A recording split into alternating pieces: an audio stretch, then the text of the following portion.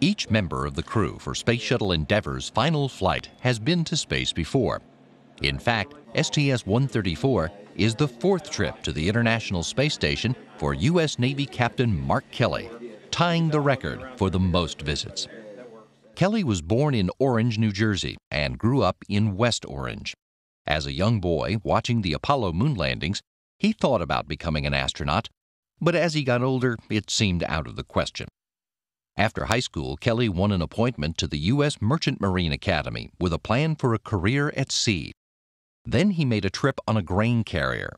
Going from Seattle to a place called Safaga, Egypt. It's in the southern part of Egypt on the Red Sea. And getting across the Pacific, that ship went 12 knots. And it took us over a month to get across the Pacific Ocean and get us to Singapore. And I thought, boy, this is way too slow.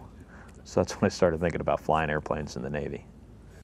When he finished his bachelor's degrees in marine engineering and marine transportation at the Academy, Kelly took his commission and went to the Navy Flight School. He made two deployments during Operation Desert Storm and flew 39 combat missions.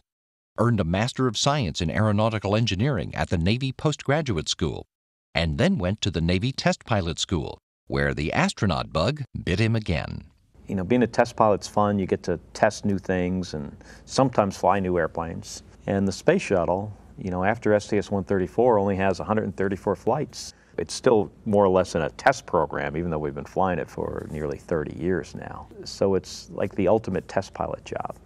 Kelly was an instructor at Test Pilot School when he was picked for the Astronaut Corps in 1996.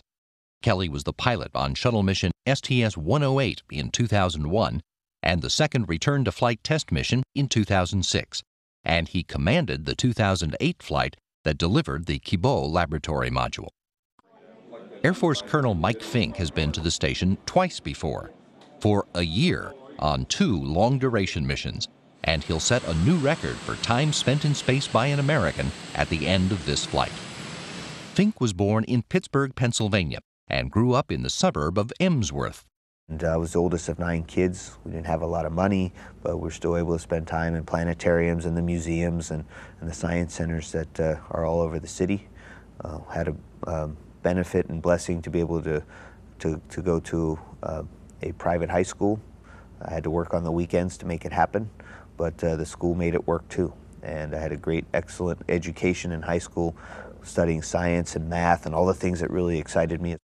Fincke won an Air Force ROTC scholarship to MIT, where he earned bachelor's degrees in aeronautics and astronautics and Earth, atmospheric, and planetary sciences. That summer, he attended an exchange program with the Moscow Aviation Institute before heading to Stanford for a master's in aeronautics and astronautics. Then he started an abbreviated career as a fighter pilot. And it turns out after six or seven months, uh, the Air Force and I both agreed that I wasn't going to be the God's gift to, to aviation that I thought I was going to be, and I uh, wasn't destined to become a fighter pilot, so I washed out of pilot training. Fincke found his niche as an engineer and then a flight test engineer, attending the Air Force Test Pilot School and serving at posts in Southern California and later in Japan. But he never gave up his childhood dream. When I was three years old, I remember watching people walk on the moon. And I knew right then and there that's something I wanted to do. Fincke was selected as an astronaut in 1996. He spent six months as flight engineer on the International Space Station's Expedition 9 in 2004 and performed four spacewalks. Then another six months as commander of Expedition 18 and performed two more EVAs. One of his crewmates from that flight is with him again on this one. Dr. Greg Chamitoff was born in Montreal, Canada, and had a father he describes as a space fanatic. Chamitoff remembers watching Star Trek as a little boy and being intrigued. But then we went on a family vacation to Florida, and it was the time of Apollo 11, so we got to see the launch of Apollo 11 on a family vacation there. I was six, and um, and uh, that was it. At that, I told my dad uh, at that point I wanted to do that, and never changed my mind. The family moved to the United States and settled in San Jose, California when Chamitoff was 11. He graduated from high school there and went to Cal Poly in San Luis Obispo to study physics.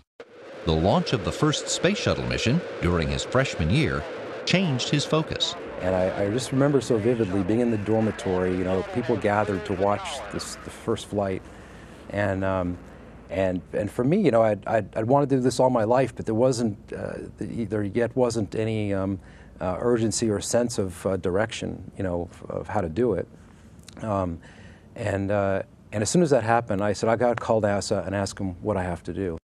When he got interested in robots, he changed his major and earned a Bachelor of Science in Electrical Engineering at Cal Poly, then a Master's in Aeronautical Engineering at Caltech. On a fellowship at Draper Laboratory in Cambridge, Massachusetts, Chamitoff worked on spacecraft guidance controls for several NASA projects while earning his doctorate in aeronautics and astronautics at MIT. Then he taught aeronautical engineering at the University of Sydney before he came to work at the Johnson Space Center in 1995 developing software applications. He was picked for the astronaut corps in 1998 and spent 183 days in space as part of the space station's Expedition 17 and 18 crews. Italian Air Force Colonel Roberto Vittori of the European Space Agency has made two previous trips to the International Space Station, but he spent less than three weeks in space.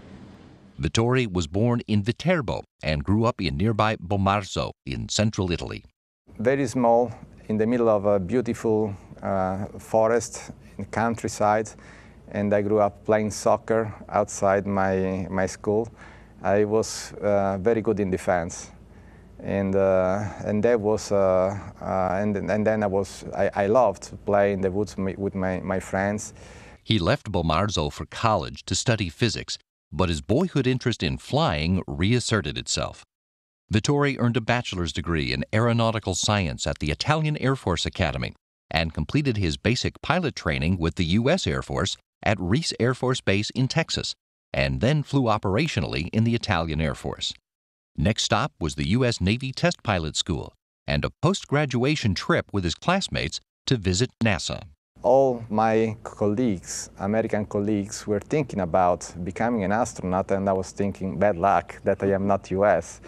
Obviously, in Italy, uh, it's not that easy to have opportunities for astronauts. Two years later, while Vittori was working as a test pilot in Italy, he put in an application when the Italian Space Agency was looking for astronauts.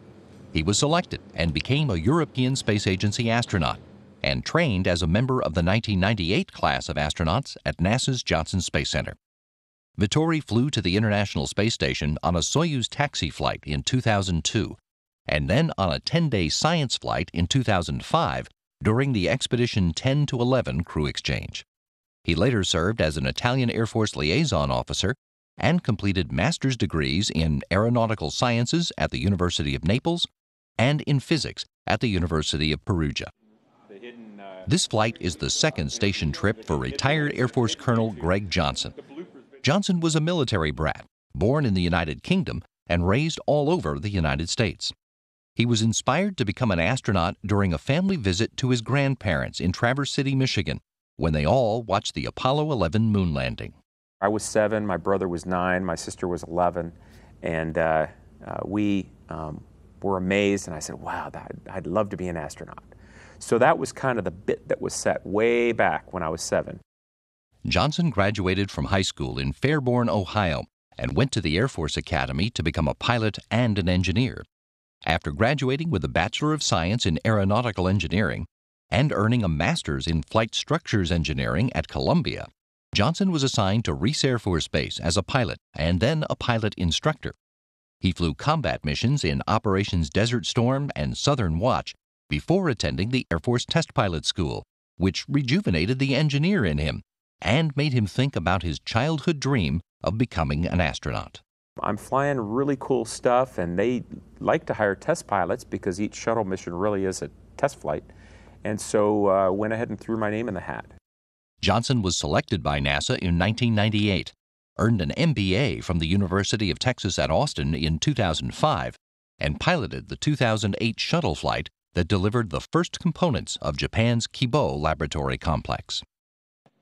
Dr. Drew Feustel's first spaceflight got him nowhere near the International Space Station, but he got up close to something that none of his crewmates has ever seen before.